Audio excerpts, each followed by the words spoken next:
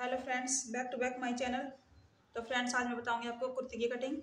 तो कुर्ती कटिंग करने के लिए मेरे पास में ही बॉर्डर वाला कपड़ा है। तो मैं इसमें आपको कुर्ती कटिंग बताऊँगी।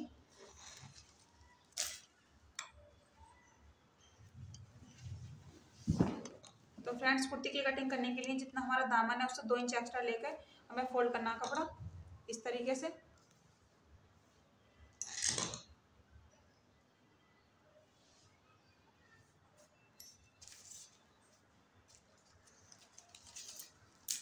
हमारी कुर्ती का दामन है बीस इंच तो हमें ये बीस इंच का डबल होगा दस इंच। तो दस में हम दो इंच एक्स्ट्रा लेंगे तो ये हमारा बारह इंच हो गया तो बारह इंच पर हमें कपड़ा फोल्ड करना है।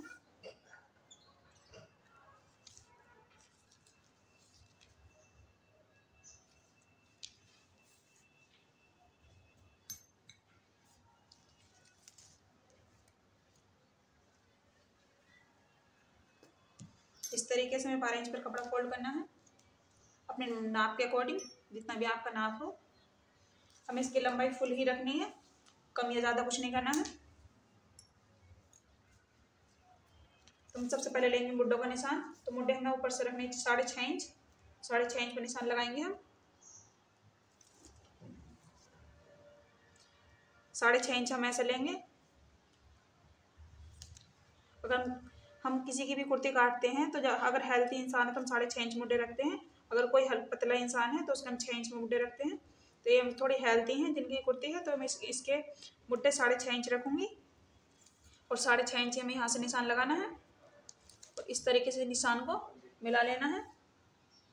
और इसे आधा इंच पर गोलाई देते हुए मिला लेना है। इस तरीके से आधा इंच की गोलाई देनी है हमें इसे।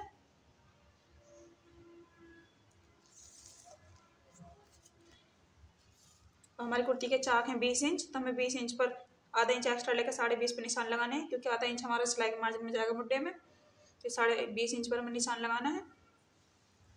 तो हमारी कुर्ती का सीना छत्तीस इंच तो छत्तीस का चौथाई भाग हुआ नौ इंच तो नौ इंच में हम दो दो इंच एक्स्ट्रा करेंगे तो ये ग्यारह इंच हुआ तो हमें ग्यारह इंच पर निशान लगाना है।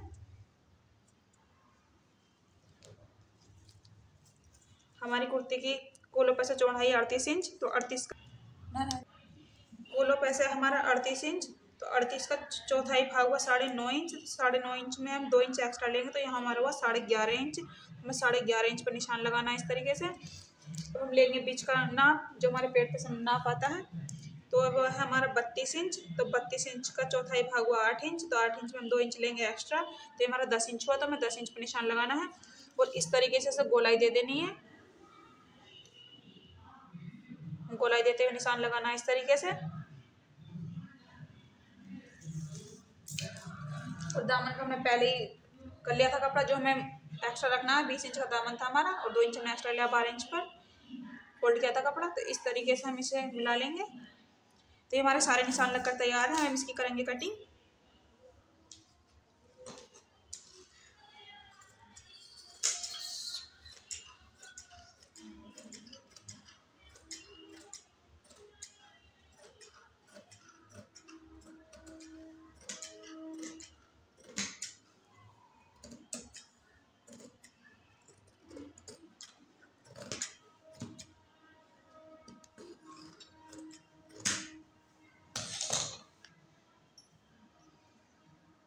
हमारा फ्रंट पार्ट निकल कर तैयार है। तो हम निकालेंगे बैक पार्ट।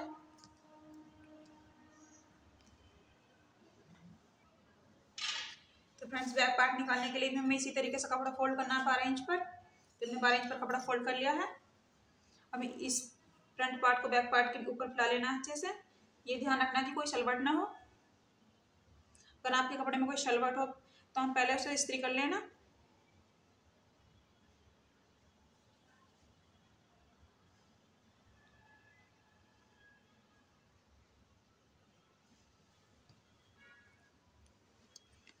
तो इस तरीके से हमने बैक बैक पार्ट को फ्रंट पार्ट को फैला लिया है। अब हम इसमें एक इंच का मार्जिन देंगे मुड्डे में।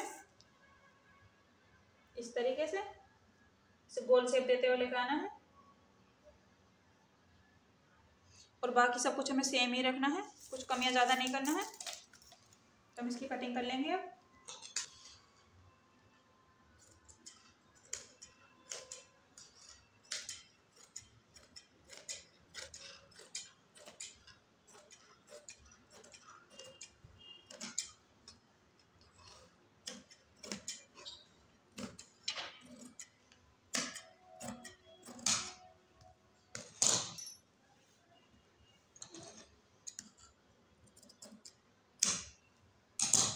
फ्रेंड्स दोनों पार्ट हमारे कुछ इस तरीके से निकल कर तैयार हुए हैं।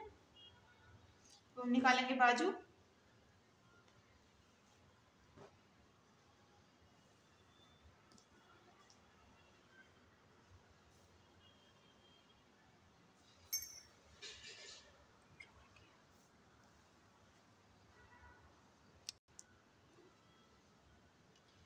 तो फ्रेंड्स ये कपड़ा हमारा कम है, इतने में हमारी बाजू नहीं हो पाएगी, देखिए।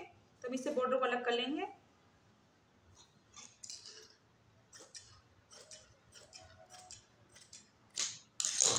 बॉर्डर अलग अलग कर लिया है।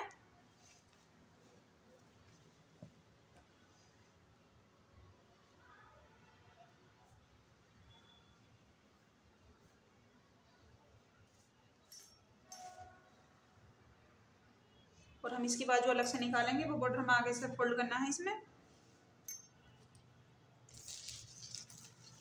हमारी बाजू की लंबाई सोलह इंच, और हमारा बॉर्डर है ये पाँच इंच।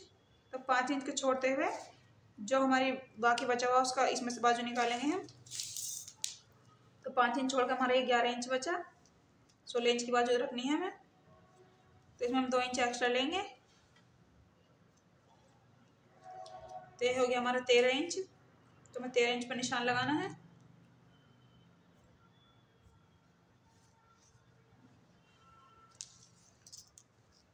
इस निशान को इसे सीधे करके मिला लेना है। हम इसे तीन इंच की गोलाई देंगे। तो तीन इंच पर निशान लगाना है हमें इस तरीके से। और इस तरीके से गोल करते हुए इसे मिला लेना निशान को।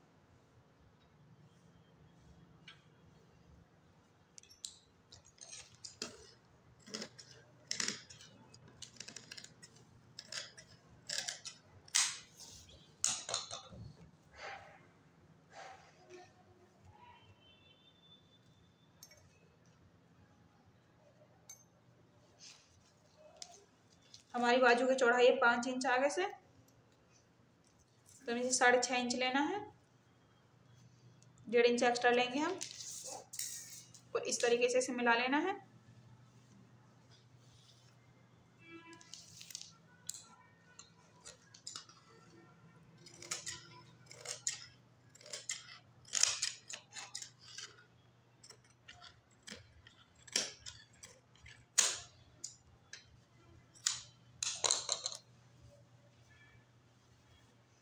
तो ये कुछ इस तरीके से हमारी बाजू निकल कर तैयार हुई है। ये इस तरीके से हमें फोल्ड करना है इसमें।